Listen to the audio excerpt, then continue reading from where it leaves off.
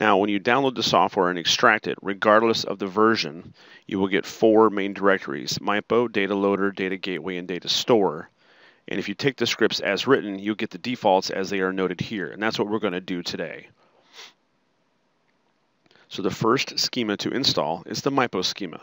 And in the database directory within the MIPO folder, you will have an install.sql script. To install, you run the SQL plus command, logging on as the system user and calling the install script.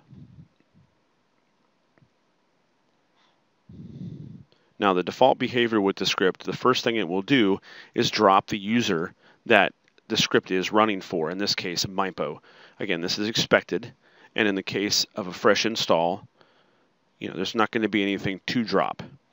But if you were to run an installation and do something incorrectly or want to just redo it, you can just call the install script and it will drop everything that's in there for that user. That way you don't have to keep track of all the different objects that the user may own.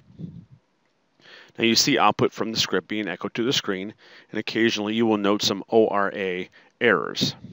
In the case of a fresh install, as long as you were doing the installation as the Oracle system user, you know, these errors for the most part can be ignored because the way the script works is it tries to drop objects like tables, sequences, etc.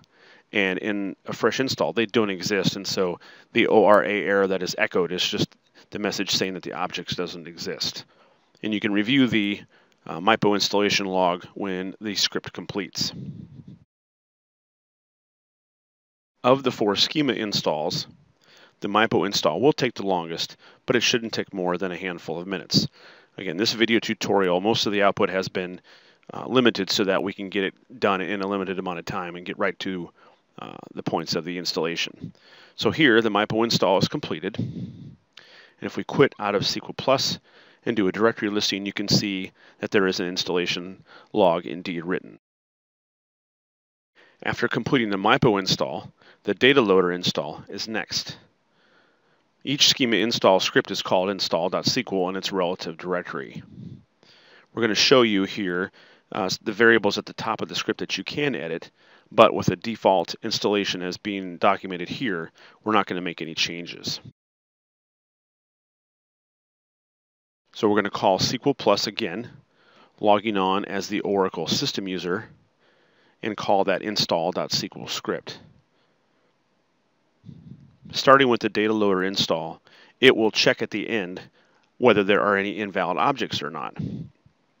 And you'll note here, coming up after uh, you get the, again, the standard message that's dropping the particular schema, you'll see that there are no objects that are invalid. And that's good to see. And because there are none, we can proceed with the gateway install, which is the next schema to install. Exiting SQL Plus, we will see that there is the data loader install log that you can, again, review to see the different output from the script.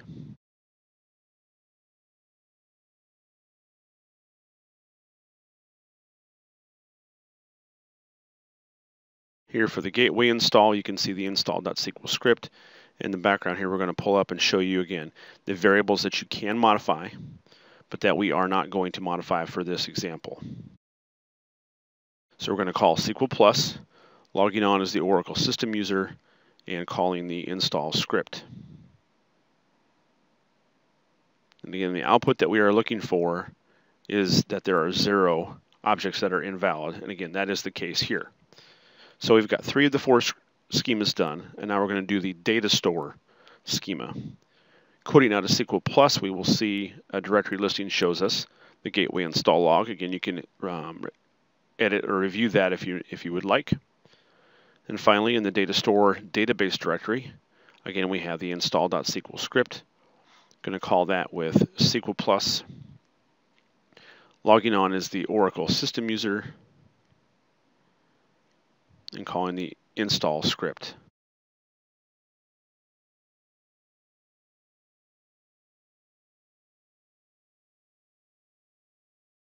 Of the four schema installs, this is the quickest one. It will be done in a matter of seconds. And again, zero objects were invalid, which is what we're looking for. So all four schemas have installed successfully. And with that, we are done.